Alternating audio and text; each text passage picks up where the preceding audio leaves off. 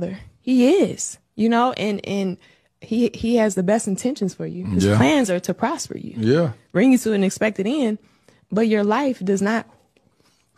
Oh my God. Oh my God. Bruh. We gonna keep this?